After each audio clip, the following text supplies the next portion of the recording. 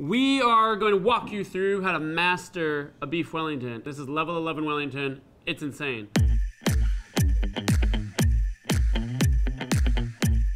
What's a beef Wellington? Really simply, it's tenderloin wrapped with chopped mushrooms, maybe a little prosciutto, and then pastry. And the amazing thing about beef Wellington is it's actually this really incredible test of a cook's skill. Here's what a Wellington is, though, just so we're clear. That's a tenderloin, duh. This is mushroom duxelle. This is your pastry. Not to scale, obviously. This tenderloin, let's just say it's medium rare, 25 degrees Fahrenheit. This pastry, on the outside, it's gonna be 300 degrees Fahrenheit. Right on the inside here, to make sure the pastry is actually cooked and done, probably has to get to about 200 Fahrenheit. That's that like, nice starch temperature. The steam will souffle, it'll puff up a little bit. 300 degrees, 200 degrees. That's getting awfully close to overcooking our tenderloin, right? So think about it like you've got your cozy house, you've got the outside elements, your little cabin. Between your cozy interior and the exterior, you need to make some insulation, right? So this pastry's your wall, it's the siding of the house. So the rain hits it, the heavy weather hits it, right? But in between, this is our duxelle. This is our insulation, okay? This is gonna protect the meat. That way we can hammer the pastry and get it flaky, crispy, crumbly, dark, brown, delicious. So that's the trick. You need the meat, you need the mushrooms, you need the pastry. You need all three. Here we go. You're making your Wellington. Time to get going on duxelle. Super simple. We have all the measurements for you on chefsteps.com, but you don't really need to measure this one. A little rule of thumb I like to use when I'm making duxelle because I like the sweetness of the shallots. I kind of do a two to one, two to one mushroom. Mushrooms, again, they're like 95% moisture. They're gonna shrink down into almost nothing. There's about 800 grams, 400 grams shallot. So the only thing you have to measure, I would say, in the Wellington, I would measure the pastry every time, the pastry crust. The rest of the stuff you can just eyeball. Here's where it gets fun. So he's literally just chopping up the mushrooms. Again, the benefit of this is you're gonna have all these like small bits of mushroom that are gonna sear and caramelize and still have texture without turning into mush. You know, we call it hashade. Sliced, chopped, minced down to, you know, just like a little crumble. And as we cook them, they're gonna get even smaller. So all these are gonna be probably the quarter this size. I think you should put more butter than you think. It's gonna make your life easier. That wasn't enough. Just FYI, that was just my first slice of butter. You could do olive oil though. You could do any, any fat you want here, you know? Again, for this sort of thing too, I like a big open pan. Gets rid of the heat as fast as possible. The bigger the pot, the heavier the pot, the more energy that goes into the pot instead of the mushrooms. It just takes longer. The longer the mushrooms cook, the more likely they'll turn to mush, less likely they'll caramelize. That's some good smelling butter though. Let's add a little bit of salt. Okay, so I got a little bit of color here. I'm gonna start adding mushrooms. Can't add all the mushrooms at once. You hear that sizzle change? So if you were to like just, I'm in a rush, ah, I gotta like hurry up and get the duxelle done. It's like the one thing I wouldn't rush on. The Wellington, in my mind, is like really, really, really all about technique. If the duxelle's too wet, the tenderloin's literally gonna be like fall out from the inside, the mushrooms are gonna fall out, the pastry's gonna be soggy, and you're like, I don't get it. Get rid of this water now. Get rid of it now, and you don't have to deal with it later. And you're starting to see all these like fine bubbles. Those fine bubbles are that fat starting to fr actually fry. Here's the big deglazing trick that nobody tells you. Just put a teeny, teeny, teeny, teeny, teeny, teeny bit. And look, it's like brand new again. This is where you should be in the end. So you've got really nicely, deeply caramelized mushroom with color. They're loose, it's not puree. You know it's gonna work in your Wellington later, because look, if I pack that into a little pile, see how nice and set they get together? Went from 1,300 grams of total volume to 475. That's 800 grams of water. That's not gonna be trying to get through our crust and make our crust soggy. That's duxelle. If you wanna know how to break down a tenderloin, you came to the right place. There's a lot of advantages to breaking one down yourself. It's cheaper, you get a lot of cuts out of it. You know, you buy one steak, it can be like 40 bucks a pound. You buy a whole one, it's like 23 bucks a pound. First thing is the whole tenderloin. There's only like a couple few parts to it. you've got like the nose, and then you've got this like, they call it a chain. And again, like a lot of good butchery, you'll see like, you don't really need a knife all the time. So this chain, pull off. That snack crackle pop, that's good. So I got my tray, I'm gonna make a fat pile. Fat pile!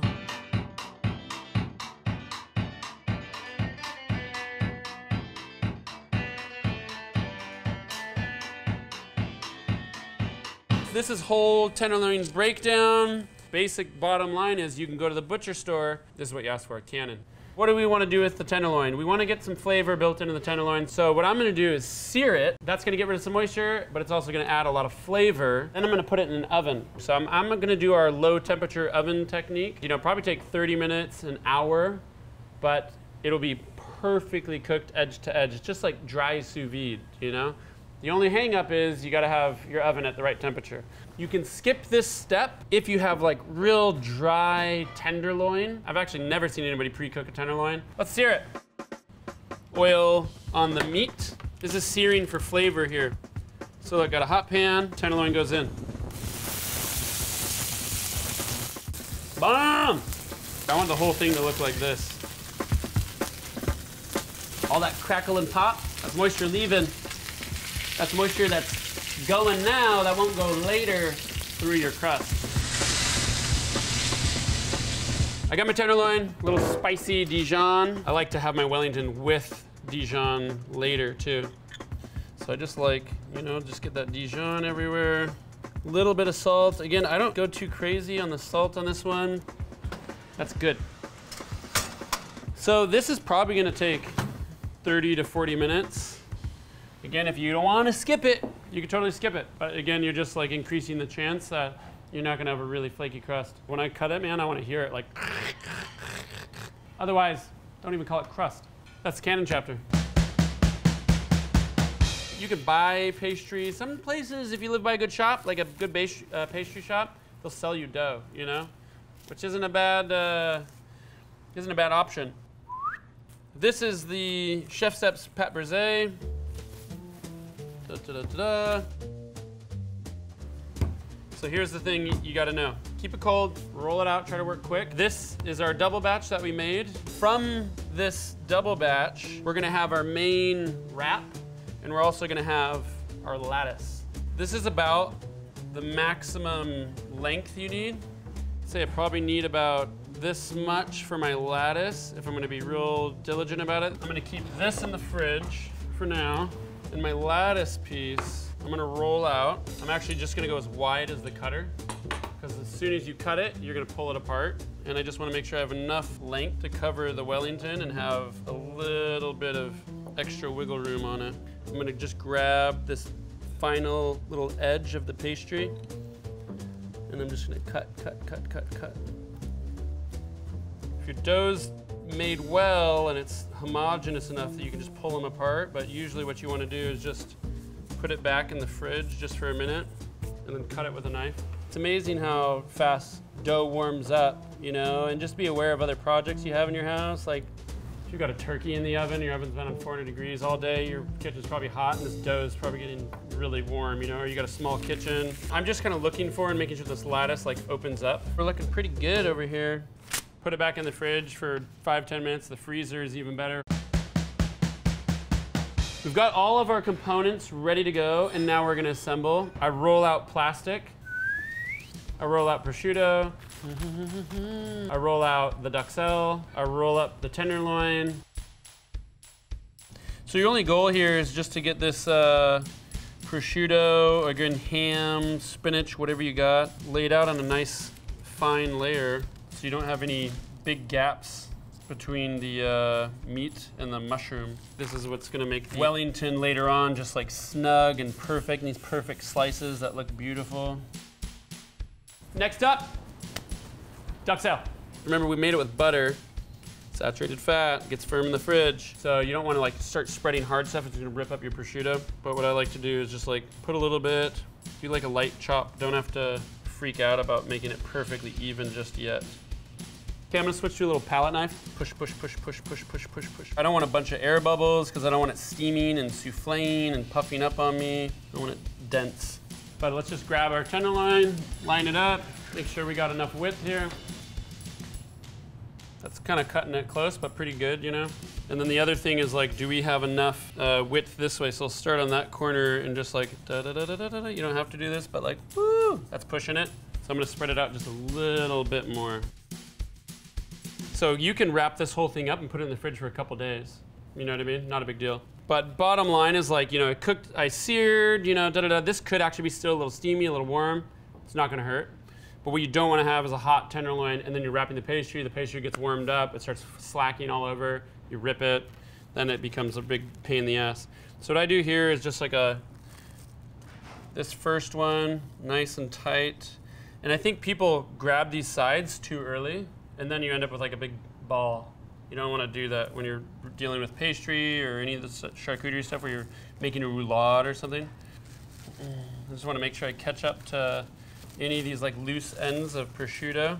This is where this like plastic wrap is just awesome. It's your best friend.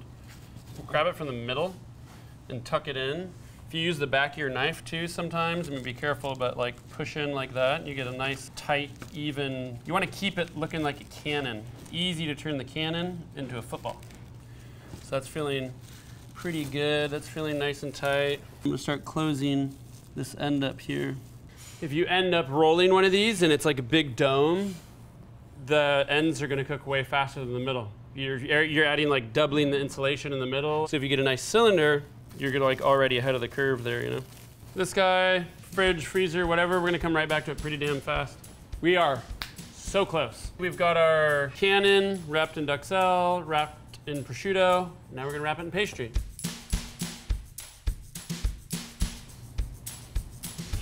One more little tip, parchment paper, wax paper, all that stuff is just awesome if you can get, if you have it or if you can get sheets of it.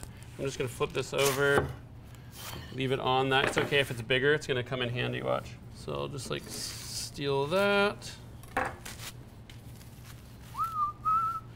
That's gonna be the bottom, so I can like land that half right here. There we go. Egg wash. I don't know what other chefs' tricks are for egg wash.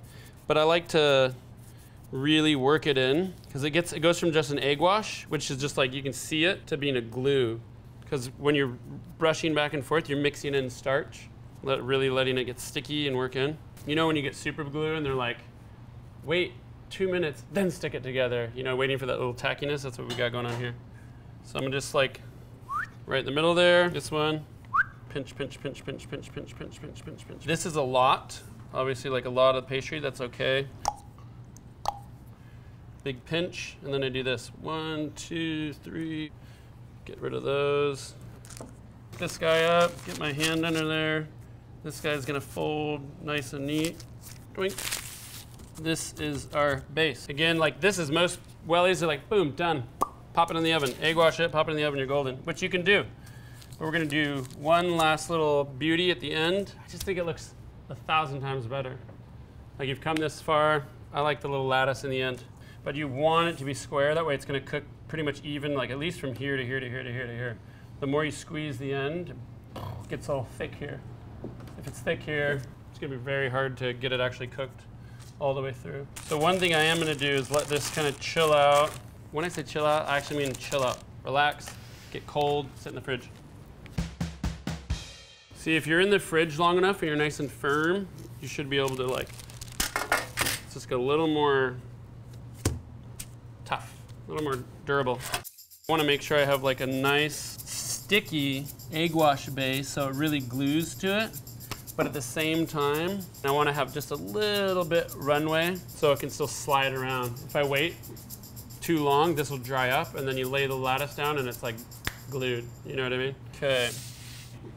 So cut that, cut that. That always gets in the way, I think. Get rid of any stuff that's going to basically be noise during the process.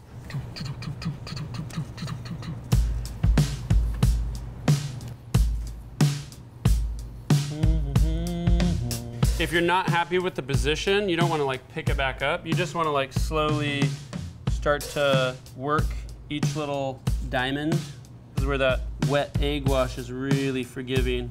So each little diamond, I'll get like, I'll literally push a little bit. I get a quarter inch, quarter inch, quarter inch, quarter inch. It adds up to like a whole inch down below. I don't worry about these ends too much. I just make sure they're firm and glued on. Dude, I love a heavy egg wash. It's so shiny. You want to egg wash it while it's nice and cold.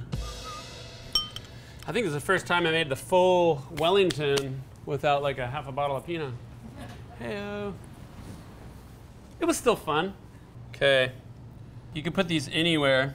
I like to get them placed and then I come back with the tweezers and sort them out and move them around or whatever.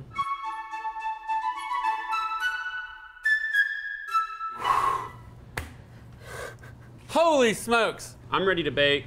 This guy's going in the oven. Da da da da. You'll see it's on the very bottom rack. That's actually a good thing. It's gonna sear it so we have a nice brown crust. There we go.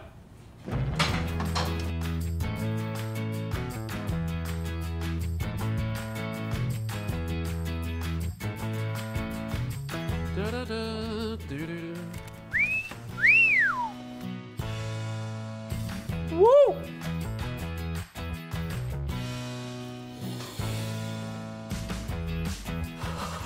I think we got a winner.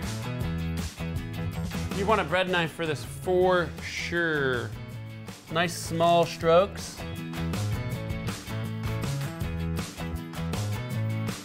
I think if you overcook the meat, that protein tightens up and it's gonna push juice into the crust too. So there's a fine line, you can overcook it. As the meat gets to that medium well, it squeezes and it starts putting that juice out there. It's just gonna get better from here, guys. Feels so good that it's not wrecked. See, I'm just like you at home. When it turns out, I'm excited. That's pretty beautiful. We've got jus here. Oh my God. You know, get a little truffle oil in the jus.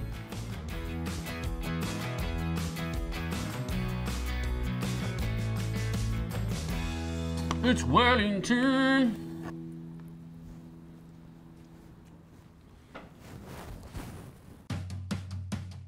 Man, this light, it's just not, it's like lunchtime. So dark. Haven't you seen the Anthony Bourdain episode? What's up with all the serial killers around here? This is, this is insane. I think Robuchon would be proud. One of the cool things about the squash one or a veggie one too, you're never gonna overcook it. So you can just bake it, bake it, bake it, bake it. It's kind of got like a little spiral going, I like it. The meat and the carbs and the umami and all that stuff in one bite. Mm. Okay, you guys, come on, I don't like eating by myself.